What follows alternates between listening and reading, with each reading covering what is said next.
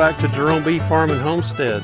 Uh, man, it's been a busy week. Uh, some of the videos that you're seeing right now were shot a week ago when I put some supers on and uh, I've managed to get through all of my hives and uh, man, this year my hives are stronger than I've ever seen them before coming out of winter, going into spring.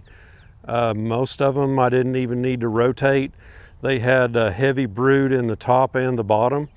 Uh, I've got a couple of red queens out there. I think that means they're three years old, so I need to keep my eye on those, uh, make sure they're uh, superseding and doing okay, because uh, I don't proactively requeen my hives. So uh, I think I got in here uh, before most of the swarm cells developed. Uh, last year I was way behind and I had many hives with swarm cells. So I found a lot of drone brood. I cleaned that off. I found two hives with swarm cells and I also found a hive that the queen has failed or is failing and she's laying spotty drone pattern and that's hive number 11 right here and I'm going to check it first one of the frames in there had two swarm cells on the bottom of it, uh, the, the frame that had the spotty drone pattern. So uh, it looks like they tried to requeen themselves. So we'll see. Uh, so one of those cells had been opened and the other was not open. So I want to see if that other cell has opened or not and uh, see if I can find a queen in there. Uh, those may have been left from last fall, but I don't think so. But we'll check that out. And uh, also the two hives that uh, have swarm cells, uh, we might do a split this evening. So I don't have a lot of time. It's uh, after work. It's about probably 5.30 or so, so I have to move pretty fast. But uh, I don't know if that'll be too much for one video or not. So let's get in here and at least we'll see the laying, the drone layer and that means a queen laying drones. That does not mean a drone laying eggs when someone says a drone layer. Someone left that comment one time. Says the only male that has eggs is a seahorse. I was like, dude, that's not what I said. anyway, that's what a drone layer is. A queen that lays unfertilized eggs and they all turn into drones. So that's what we got going in Hive 11. Let's get in there and check it out and uh, we'll see if we got time to uh, make some splits with those other uh, hives that have the swarm cells in them. So let's get going. Okay, here's Hive 11. So one thing you notice about it, uh, it's been reduced and not a lot of activity on the front. Uh, it still has an entrance reducer on it too uh, compared to these hives next to it. It's a lot more activity going on right now. So it rained pretty much all day yesterday and most of the night. And uh, it's cool out and this is the first sunshine uh, we've had all day here. Okay, here we are, Hive 11. Let's get in here and see what we find wearing my full suit today in case I get in these other uh, hives that had the swarm cells uh, because it's been rainy for a while and it's been cloudy most of the day and cold. So the bees are not going to be happy. I won't need it for this hive here though. So we still got our sugar feeder on here. See a few bees up here set this aside.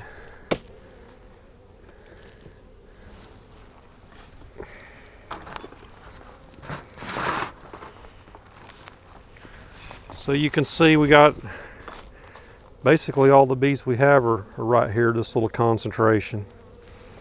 And these bees are old because not a lot of new bees in there. Okay, let's go on and get in here and see what we find.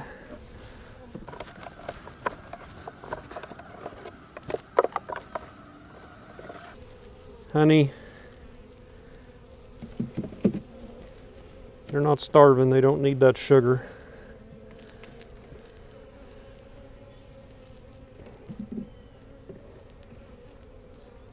Uh, that's empty. There's a little pollen there, but that's probably left from uh, before.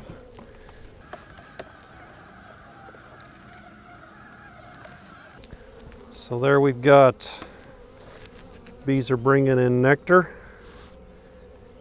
What bees that are in here.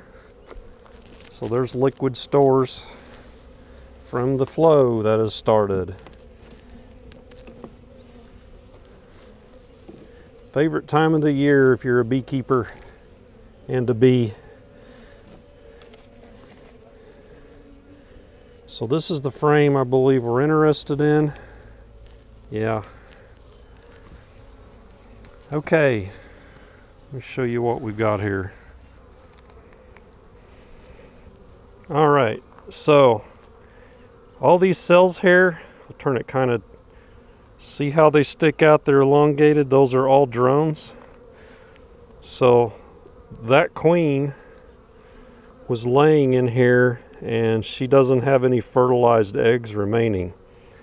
So all these larvae are turning into to drones.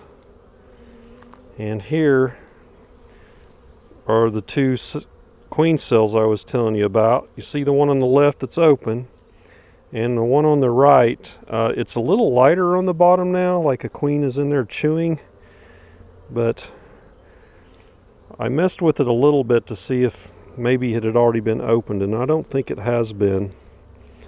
So it's been a week and a half, so I think that should have been open by now. I hate to mess with it because that may be the only viable queen this has left. Uh, so I didn't see a queen on this frame. I'm going to go ahead and, and spend a little bit of time looking for the queen and see if I find a virgin queen in here. And we do have drones flying around, so there are you know, a queen could get mated if, if one went out today to mate.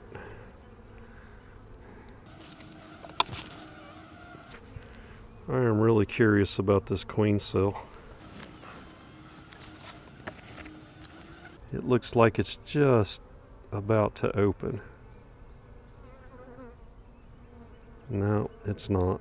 I think it's a dud. So this queen cell here has definitely had a queen come out of it. You can see by the way it's it's chewed around the edge and it's it's uniform. There's no hole in the side. So a queen did come out of there at one time. Question is when. So uh, virgin queens are kind of hard to spot because they don't have their nice big long abdomen yet. So what you look for is the big, uh, bigger shiny part on their back. And I don't see her there. I'm going to set this over here. So what are we going to do with this hive if they don't make a queen? Uh, it's it's going to go laying worker where the worker bees will start laying eggs before long. Uh, there's still some open brood in here that's not capped yet. So what we can do with it is we can combine it. And I've got two weak hives. Hive number uh, 17, actually I got three, 17, 18, and number five. Number five is Tiny Swarm. Number five would probably be the best candidate because that's a uh, one-year-old queen. She should be in her prime and I believe 17 is the same. Oh, here's a couple of queen cells on here that I didn't see. So since I've got, whoa, two more to play with, I want to open one of these. This one here looks like it's about to open on its own and see if there's like a old dried up queen in here or if it's a, a good viable cell. I don't see anything in it. Oh, I do see something. Okay. Okay, so I've torn up that cell there. So what's inside there is a dried up uh, queen bee. So these aren't from this spring. These are from last fall probably. So that tells me there's not going to be a queen bee in here at all. So we need to take action now. So we got us a bunch of nice comb here. and a bunch of old bees. So there's a supersedure cell where they may have tried to make a queen there too. Just in case we're looking real quick for a virgin queen or a queen. If we find a marked queen, we'll take her out. Okay, we're done here. So this hive needs uh, to be combined. So we'll get use of these few bees here. We'll protect this comb and we'll get a uh, another hive set up stronger. Let's see. Get all this back where it was.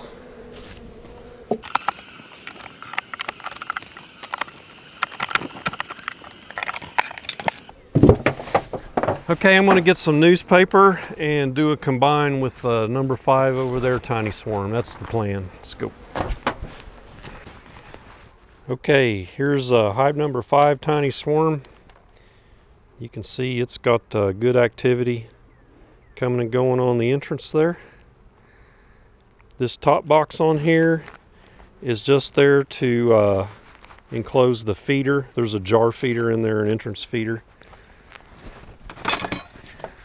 So this little hive is, I believe it's at least three hives uh, put together, or two hives and one other swarm. And this is just how we got this queen through winter.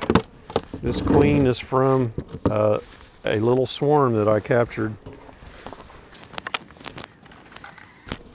and it was a late swarm. So most of the time you don't have success with late swarms.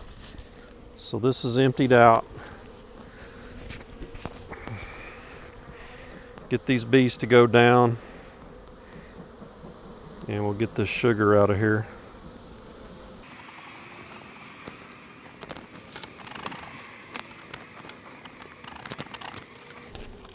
There's the last of a pollen patty.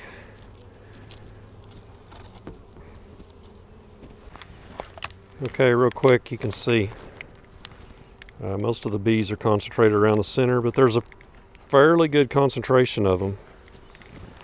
So they're a little light for a 10 frame deep, but uh, it's warmer now.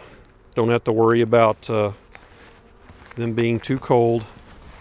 I just did an inspection on this last week. I saw the queen, everything was good. So I'm not going to disturb them anymore there. I know from this other hive that I'm fixing to put on here, there's a frame of honey. And uh, there was a frame of honey in here from before as well. So my point is I think this hive has everything they need. And uh, we'll give them a deep frame that's full of comb and has a few bees in it.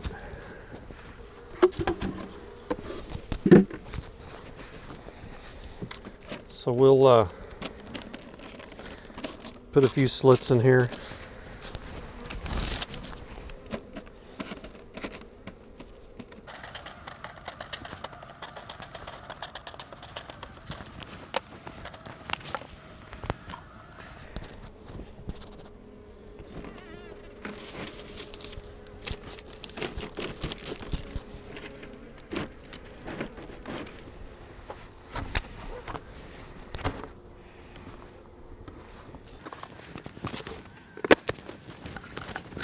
And we don't need this anymore, so we can go store it.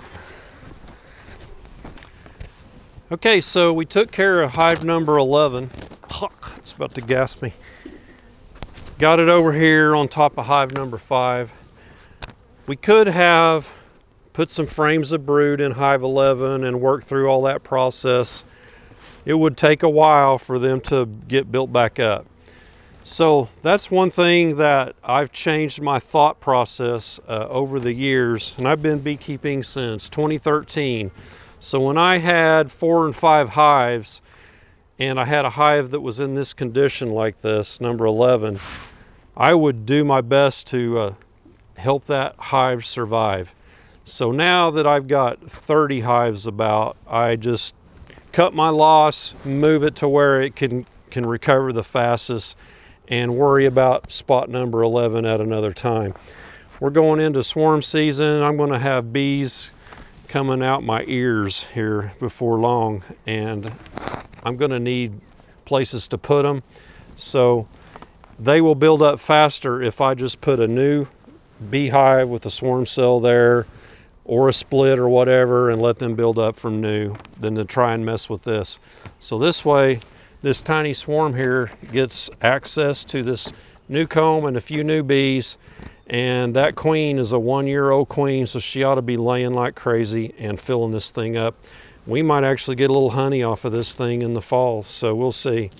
Uh, so that's the end of the video. I'm not going to go into those others uh, in this one. That'll be too long. So uh, give me a thumbs up if you would, and don't forget to subscribe on your way out. And y'all stay safe, and we'll catch you on the next one. Take care.